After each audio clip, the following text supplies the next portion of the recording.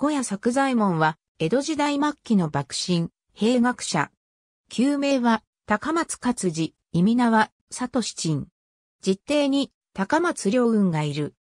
天保4年、筑後国古元郡小井村の庄屋の次男として生まれる。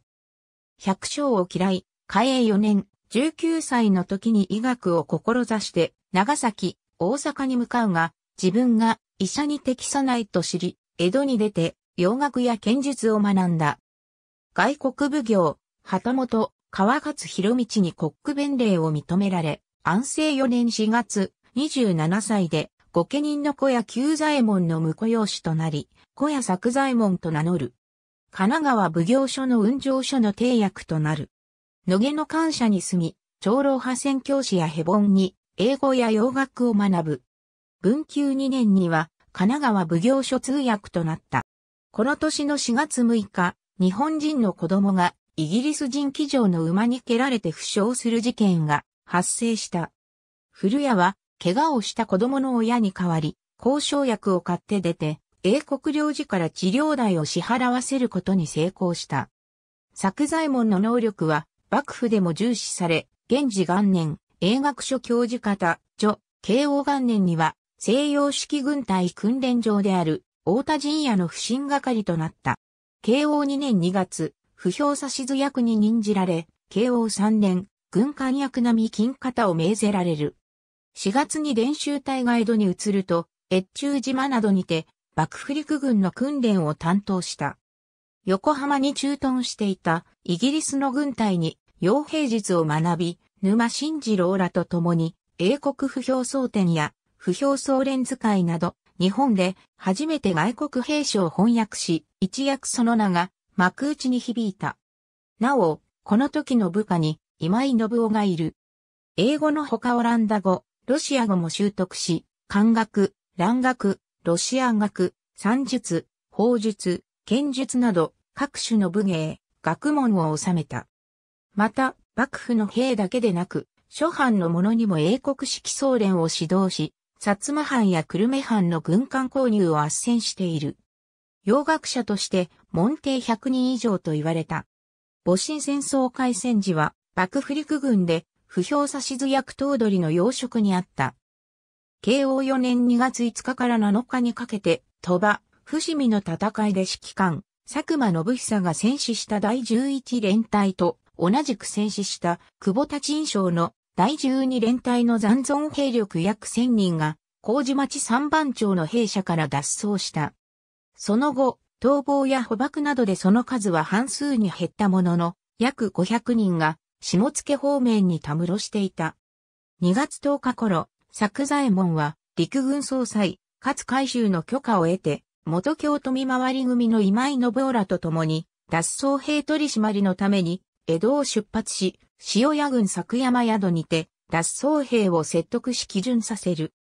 それらを、お師範に預けて、自身は江戸に戻ると、不評は玉波に任じられて信濃陳部の命令を受け、3月上旬に新たに500人の兵を率い、先に基準した400名と合流、武蔵羽生陣屋に入り、900名の部隊を結成する。8日にはハブを出発し、下野国柳田郡、柳田塾に入るが、翌9日未明に、古谷隊は、大垣藩兵を主力とする官軍の奇襲攻撃を受け、62名の死者を出して敗走した。翌日、鹿沼にて部隊を再編成し、藤原を経て22日には、合図に入り松平片森に越見し、24日には、部隊名を小喫茶機隊に改める。翌25日には、若松城下を立ち、水原を経て4月1日、新潟に着いた。その後、11日には、良田移動、良田藩から軍資金の提供を受け、高田を経て、飯山城を信濃平定の拠点にすべく、23日には、飯山城下へと迫った。25日、小喫茶機隊と官軍の松代、尾張藩兵との間に戦闘が始まった。戦いの前半は小喫茶機体が優勢であったが、玉虫色の態度を示していた飯山藩が、小喫茶機体に対して突然発砲。小喫茶機体は総崩れになり敗北した。越後へ退却すると、高田藩の裏切りにあって襲撃され、小喫茶機体は4分5列となり敗走した。しかし、小千谷にて再結集し、ウルー4月27日からの芸派戦争では、小千谷市南方に位置する雪峠にて、会津軍と共によくこれを守ったが、官軍の三度にわたる波状攻撃を受け、小千谷を放棄、片貝村へと退いた。その後、小喫茶機体は8月末まで、越後国で交戦を続けていたが、翌9月には、米沢藩の降伏、若松城下に官軍が進出するなどの状況になり、会津方面に撤退。若松城老城軍と合流を試みるも、城は包囲されており、福島を経て9月14日、白石に到着。10月10日には石巻から榎本艦隊に合流し、函館に向かった。蝦夷共和国では不評頭に就任。明治2年5月12日、函館五稜郭で新政府軍軍艦による艦砲射撃の直撃を受けて、重傷を負い、弟、両雲の函館病院に収容された。その6日後の18日、五稜郭は海上、旧幕府軍は降伏した。作左衛門は両雲による治療の会なく1ヶ月後の6月14日に死去した。去年37。